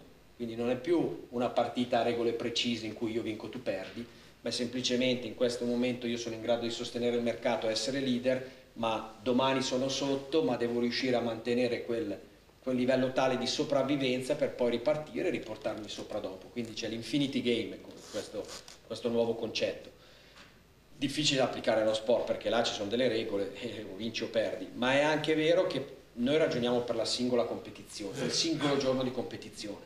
No? Io vinco il campionato, vinco la Parigi-Roubaix, vinco la partita di tennis. La realtà dei fatti è che se noi pensiamo a chi sono i grandi atleti di successo, le grandi squadre di successo sono quelle che continuano nel tempo. Eh, I fuochi di paglia sono miliardi, atleti talentuosi che si perdono sono miliardi, quelli che arrivano sono un numero ristretto, ma concordo sempre di più che in realtà sono quelli che sono stati capaci di vincere, di perdere, imparare, imparare a perdere, ritornare a vincere e crearsi una, una struttura tale nel corso de, degli anni, non dell'anno né del singolo game o della singola partita. Credo che siano concetti fondamentali. Se vogliamo portare lo sport a un valore reale, formativo e non, non vincolato. Ecco se, po se posso, sul, certo. sul, valore della, della sconfitta che condivido, ma dico di più, eh, che è proprio nella sconfitta che un allenatore dovrebbe far passare i messaggi più importanti a dei ragazzi. E invece anche qui sempre più spesso vedo allenatori, quindi adulti, che non sanno perdere, che se la prendono con l'arbitro se l'arbitro clamorosamente sbaglia, io come allenatore, e perdo la partita, come allenatore devo passare comunque un messaggio positivo ai ragazzi, non posso dargli l'alibi del l'arbitro ha sbagliato e quindi abbiamo perso per quello. Faccio passare comunque un messaggio positivo perché è proprio lì dove il giovane è vulnerabile perché è deluso della sconfitta e io posso far passare dei messaggi educativi e propositivi, invece si vede sempre di più genitori ma anche allenatori che non sanno gestire questo momento. E questa è la cosa più preoccupante di tutti. Sì, tu entri nell'ambito del tema competenze e formazione di chi è chiamato a lavorare con dei ragazzini, eh, spesso sono persone, spesso no, a volte sono persone che non hanno empatia, che non hanno intelligenza emotiva, che eh, non hanno neppure gli strumenti per comunicare in modo adeguato la vittoria, la sconfitta eh, tu lavori con dei ragazzini, eh, lui è un formatore, mi piacerebbe sentire anche voi, perché è, un tema sul quale si discute eh, sempre da anni, ma non se ne esce. Allora, io faccio un piccolo passo indietro, tornando a quello che diceva anche, eh, forse anche Enrico prima, ma comunque c'è questo discorso dello specchio della società.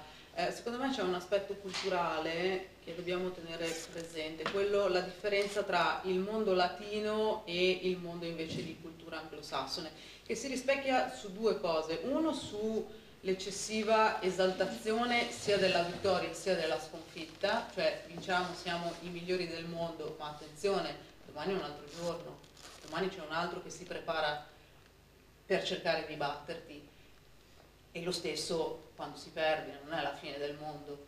Ma non è, non è che non sia la fine del mondo perché stiamo solo facendo sport, no, attenzione, non è la fine del mondo perché dopo viene un altro giorno e, ed è l'Infinity Game, secondo me, applicato anche in aspetto culturale, cioè se voi guardate proprio anche eh, l'espressività in campo, cioè per noi quello che, che urla, che si toglie la maglia così, è perché ci tiene, ma perché eh, Richie McCoy, capitano degli All Blacks della, di rugby della Nuova Zelanda, che fa le sue cose, vince perché hanno vinto qualcosa degli All Blacks, non ci tiene? Perché non urla? Perché non si strappa le vesti?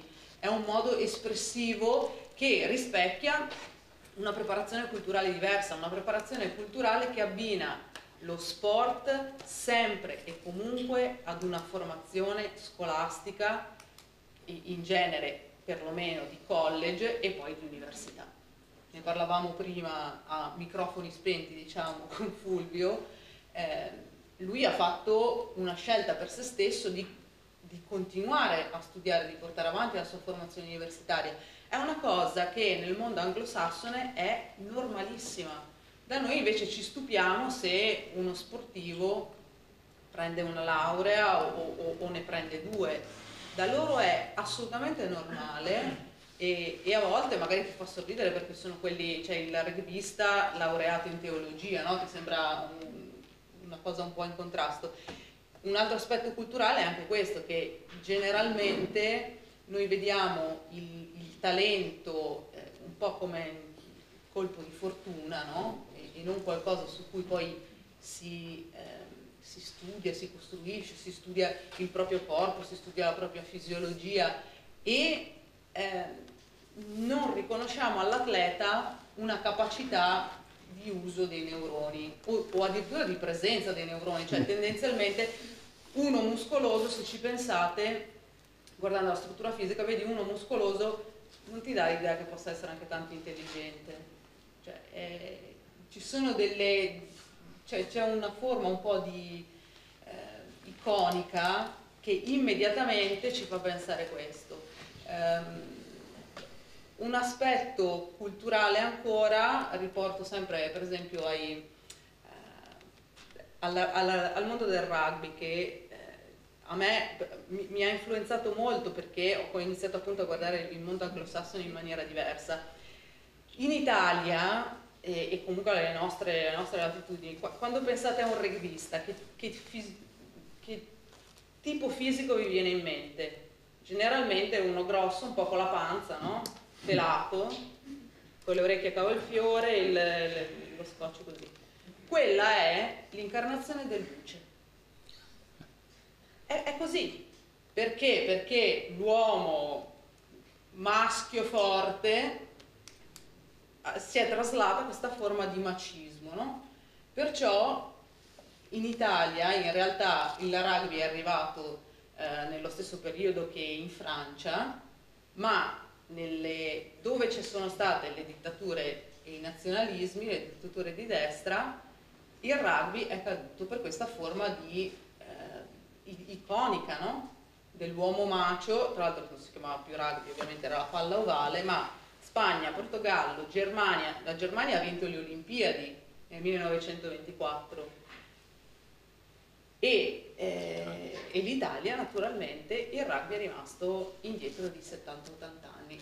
E i rugbisti in Inghilterra sono poi quelli che hanno studiato a Oxford, a Cambridge, sono quelli che sono diventati poi dirigenti delle multinazionali, mentre da noi ancora si immagina quello che, scusate l'espressione, si mangia i panini con la porchetta e, e beve birra e, e, e, ha questa figura abbastanza truce, diciamo, cioè, e quindi il, il, cervello e lo sport sembrano andare in direzioni diverse, quindi culturalmente si crea veramente questo problema. E nell'insegnamento poi ai ragazzi, anche le persone che non hanno avuto una formazione specifica, chiaramente poi cadono nei soliti, nei soliti luoghi comuni. Io non, non porto l'orologio, non ho idea di che ora sia, di quanto abbiamo fatto. 20 alle 6. Come? 20 alle 6. Abbiamo, e poi vedo che comunque c'è un'attenzione da parte del pubblico e chiedo al padrone di casa, possiamo considerarti così, cioè sei tu che ci ospiti, se era previsto anche che il pubblico potesse interagire. Sarebbe carino se qualcuno... Ha... Io ho ancora una, una, domanda relativa alla mediatizzazione dello sport, perché effettivamente è complice di un circolo vizioso la stampa. Cioè la stampa crea miti perché i miti creano soldi, i soldi vengono reinvestiti per creare nuove storie, nuovi miti. Eh, io ricordo per esempio un atleta a noi molto caro, Fabian Cancellara, che ero sempre incazzato, Blick, mer, Blick, poi aveva mal di pancia il Blick l'aveva, eh, cancellare eh, il Bauchschmerz, cioè andava a raccontare tutto a loro perché? Perché il Blick è il Blick, perché il Blick ha la tiratura, eccetera. È un po' un, un, circolo vizioso dal quale è difficile uscire, però non so se vuoi replicare sulla, ancora sulla responsabilità di noi rappresentanti dei media o ex rappresentanti oppure se mh, mandiamo la palla... Ma uh, posso dirti sì. semplicemente che, come hai detto tu adesso, c'è un gioco delle parti necessariamente e che fa comodo, fa comodo a tutti, fa comodo allo sponsor, fa comodo allo sportivo, fa comodo al manager, fa comodo alla federazione. E dall'altra parte il giornalista ha bisogno di scrivere, eh, soprattutto appunto in questo periodo in cui eh, sempre di più contano i click e quindi si cerca anche la, la, la stupidaggine, però quello che si è montato i cerchioni Lega su, sulla Ferrari nuova, anche quello, le foto esclusive, eh, fai clic anche con quello, insomma.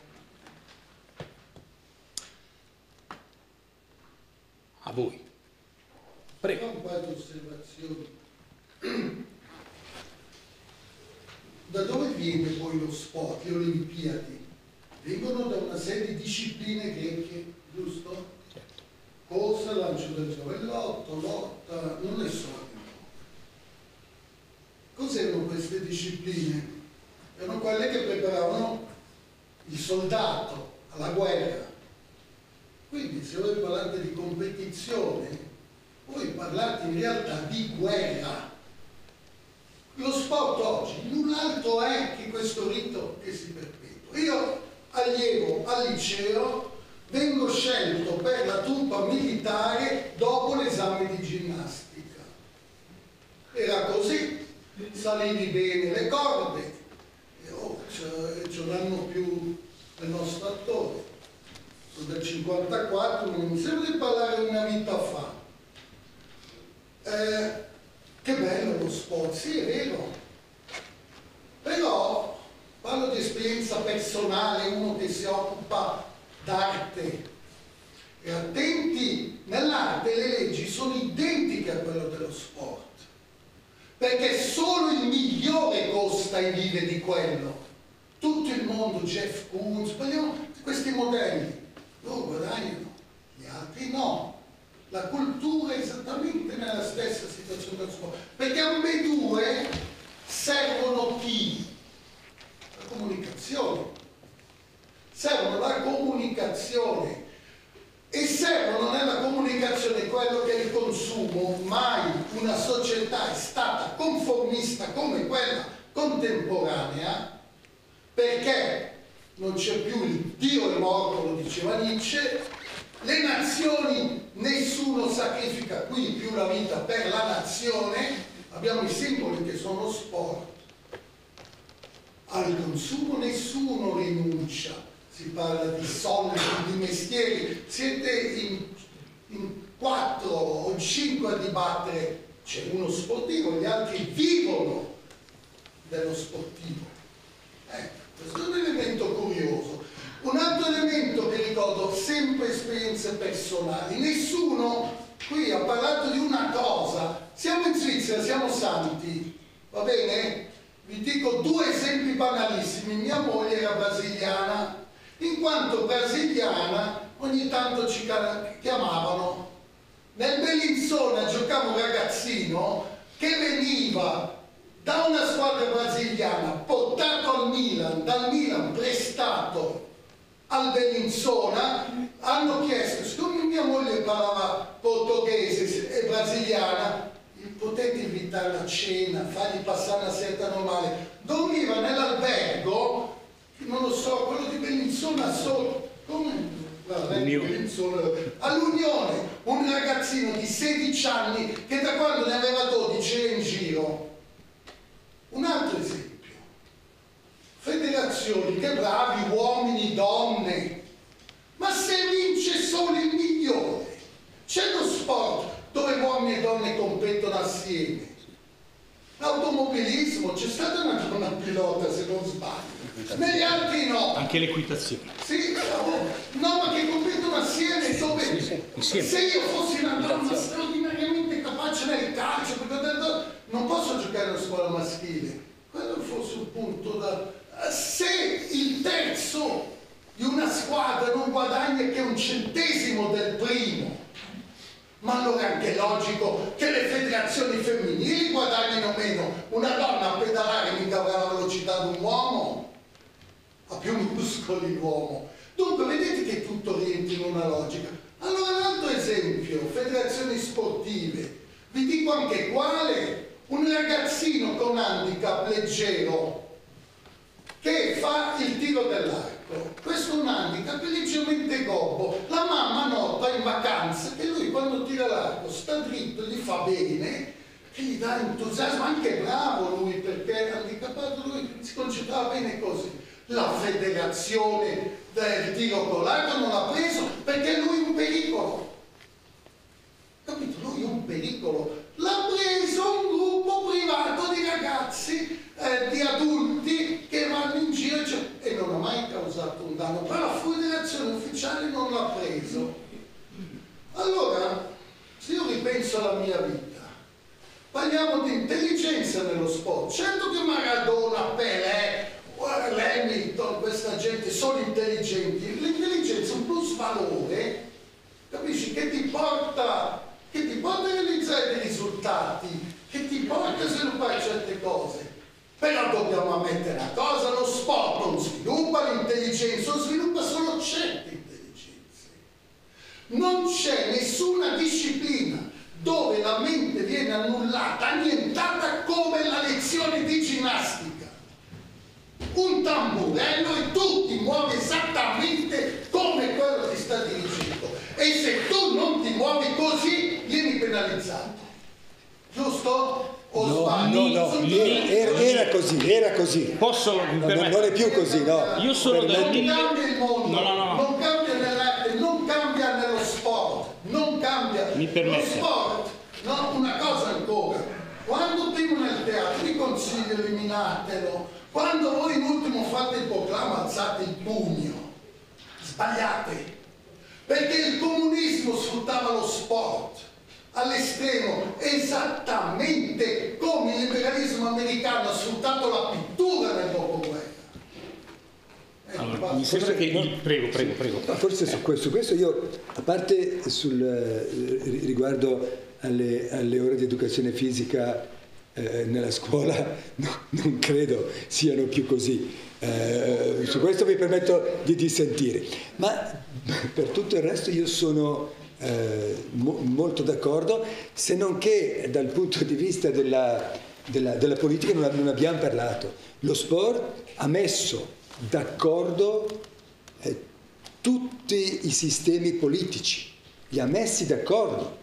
Ha messo d'accordo il- la- la- le, le democrazie, ha messo d'accordo il liberalismo sfrenato, ha messo d'accordo i totalitarismi. Lo sport stato, andava bene per tutti questi elementi. Poi ci possiamo riflettere sulla- sul, sul pugno alzato e su, e su- e su questi sim- su- eh, Questo avrei, eh, v- v- ci terrei a dirlo, sia sulla, in difesa di un cambiamento che, che c'è a livello di pratiche sportive e per brevissimo sulla cultura. Lo sport tende ad essere una pratica che vuol riunire in sé tutte le dimensioni ludiche a livello mondiale e sono invece una parte, una minima parte di ciò che eh, avviene nel mondo come attività fisica che potrebbe essere enorme, ma si tende come McDonald's tende a farci mangiare eh, tutti allo stesso modo, eh, lo sport tende a decidere quali sono le pratiche fisiche e sportive che tutto il mondo eh, dovrebbe praticare. Però che lo sport sia legato al consumo. Il consumo accontenta qualsiasi nostro bisogno, giusto? Basterebbe quanti sport ci sono. Si inventato di tutto, anche tirare la boccetta è diventato uno sport pagato. Ogni anno si inventano nuovi surf, ognuno ha diritto di competere nel suo ambito. Poi siamo contro il lavoro giovanile. Ma qui ci si rende conto che i bambini, ma anche i nostri figli, fin dalla più tenera età, li educa- educhiamo a quel tipo di competizioni, perché i genitori, andate sul campetto di calcio a vedere i ragazzini che tutti il sogno americano, tutti sognano di diventare qualcuno, come qualsiasi ragazzo che va all'accademia sogna di diventare un calciatore. Ma non è così uno. È vero quello che ha detto ce n'è uno su tanti e quello che li guadagna li merita perché dal profilo consumistico che Valentino Rossi guadagna quelle cifre all'anno li merita perché lui che è un indotto Per non pagare le tasse. Le, li merita per non pagare le tasse. No, Perché l'hanno accusato per quello. non pagare le Eh tasse, sì. eh, sono bravissimi tutti Eh, no ma voglio dire lui che è un indotto 10.000 persone che vanno in Cecoslovacchia che spendono alberghi e tutto il resto hanno il lavoro a chi deve parlare di lui in Italia ci sono 3-4 giornali quotidiani che parlano solo di sport pensate la capacità di trasformare lo sport in gossip, analisi, c'è dentro tutto in quei giornali. Certo. Sono, sono veramente dei, dei, eh, il simbolo di.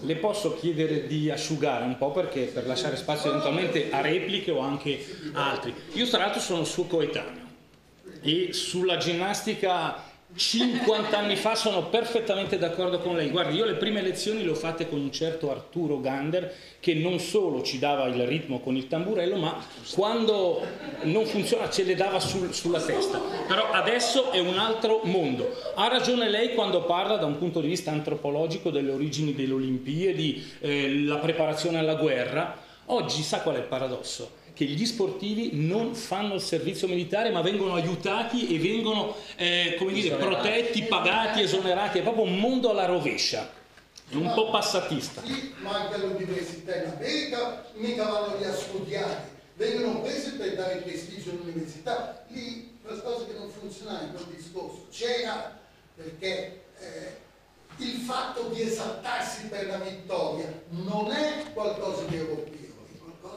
che viene da oltraltre, questo incitarsi eh, Da oltreoceano? oltreoceano su- No. Eh, assolutamente no, anche lì non ci siamo perché se c'è un mondo dello sport in cui io prima evocavo gli anni 50 quando le tifoserie insieme eccetera, in America succede così, vanno allo stadio per divertirsi, si abbracciano, poi è chiaro hanno magari una teatralità diversa rispetto alla nostra, ma assolutamente loro hanno molto da insegnarci. Eh, che dire, le derive dello sport sono numerosissime. Io sono convinto che se quel ragazzo avesse insistito, quello del tiro con l'arco, con eh, un avvocato, eccetera, l'avrebbe vinta. Eh, c'è stato il caso, per esempio, di Oscar Pistorius, che è arrivato veramente a un'unghia dal poter partecipare da disabile amputato ai giochi olimpici, quelli dei Per cosiddetti normodotati. normodotati. E lì sono stati cavilli giuridici, mm, però io ho l'impressione che i problemi oggi siano eh, diversi. Giustamente lei parla della comunicazione, se ne parlava. Noi eh, stiamo vivendo l'epoca dei social, in cui c'è un'accelerazione spaventosa. A me che sono 66 anni fa anche un po' paura. Siamo confrontati con un'incapacità di comprendere anche un messaggio breve, eh, con eh, come dire, un analfabetismo strutturale che porta le persone a, a essere disorientati. Ci sono le fake news, sono state fatte le votazioni in America due settimane fa, ancora oggi non sappiamo se il presidente eletto è Biden oppure no. A me sono queste le cose che spaventano. E poi, vabbè, lo sport eh, lo assolviamo, lo, lo condanniamo, siamo coscienti che è portatore di molti valori negativi. Lei ne ha- ne ha sottolineati parecchi, ma ce ne sono anche di quelli, di quelli buoni, credo. Sai qual è la più grande fake news dello sport, della storia dello sport? È che De Coubertin non ha mai detto che l'importante è partecipare con l'intento di dire si va così a, a piffero.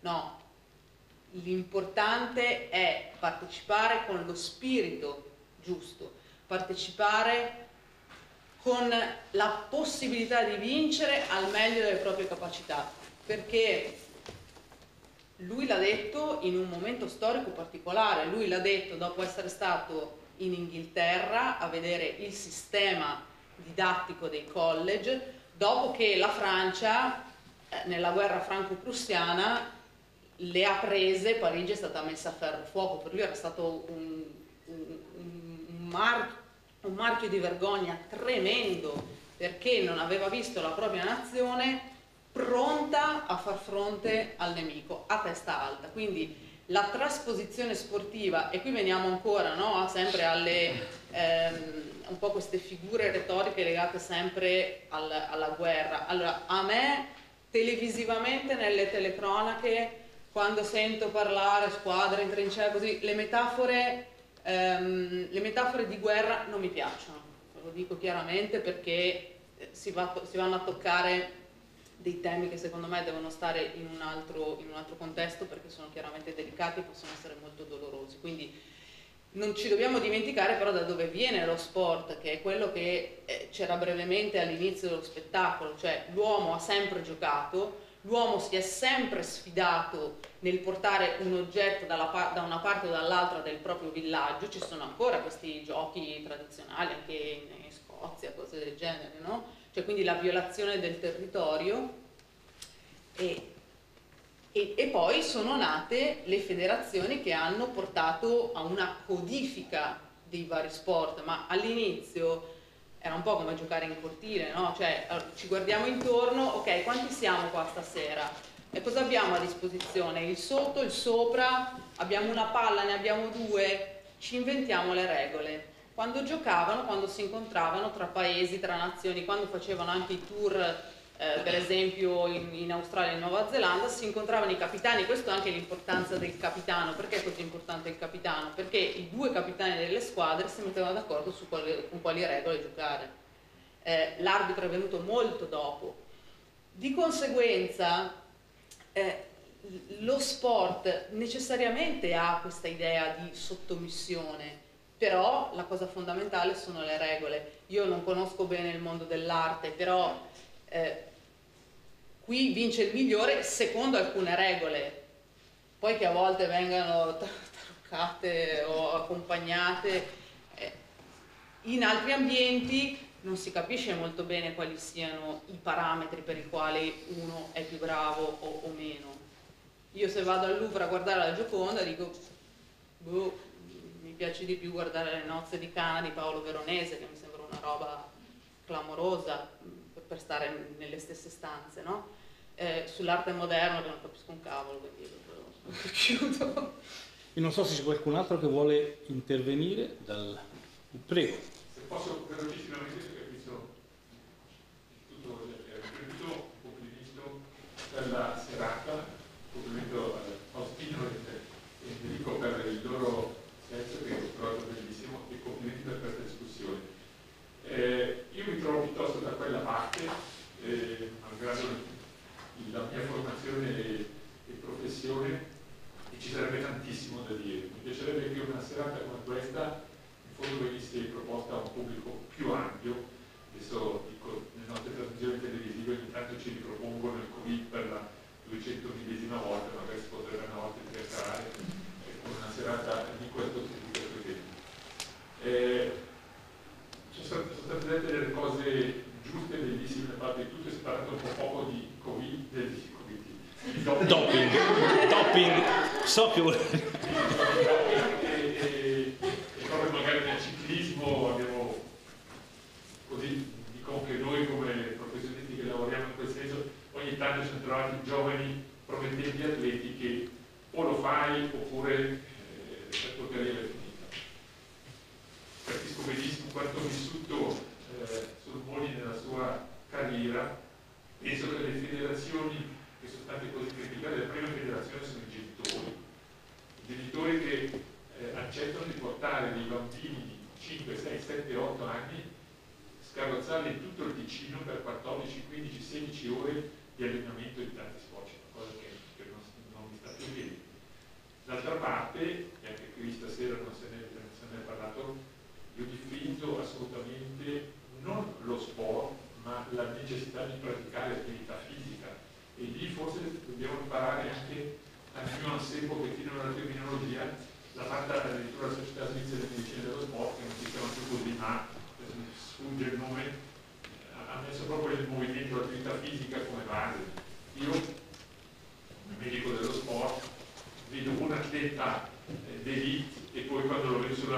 linea di concorso, ok? E poi preferisco però vedere eh, il settantenne, l'ottantenne eh, o il quindicenne che magari ho visto che deve fare l'attività fisica. Dunque penso che forse questo stasera non è venuto fuori, non era nemmeno eh, tutto. E forse volevo aggiungere l'IPI eh, istruzione preparatoria che era qualcosa di legato assolutamente all'aspetto comunque grazie no, grazie a lei capisco effettivamente io volontariamente non ho voluto entrare nell'ambito del doping perché era specifico e parlavo di derive generali. Poi, essendoci in sala un uomo di ciclismo, oltretutto arrivato eh, con un iter particolare. Luca Guercilena non è l'ex corridore diventato direttore sportivo, ma viene da una formazione universitaria come eh, diciamo laureato in scienze, moto, in scienze, motorie e quindi ha portato anche un'altra mentalità. Avremmo fatto un processo alla persona eh, sbagliata. Ecco.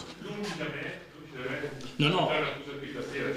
No, no, ma ho sempre parlato molto apertamente di problematiche relative al doping e all'antidoping, quindi non ho... Però è un, è un problema complesso che necessita una serata probabilmente solo, sì, sì, sì, solo di quello.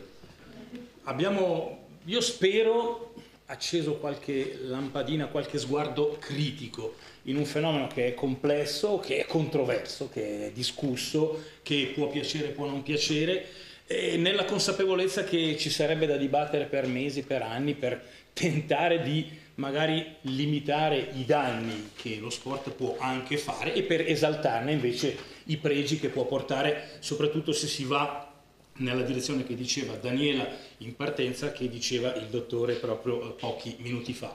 Io ringrazio voi per l'attenzione direi quasi commovente con cui eh, ci avete seguito. Ringrazio gli ospiti, Daniela Scalia, Luca Guercilena, Fulvio Sulmoni, Enrico Ferretti, Tiziana Arnaboldi che ci ha ospitato e beh, buon rientro. Giancarlo Dionisio, grazie mille.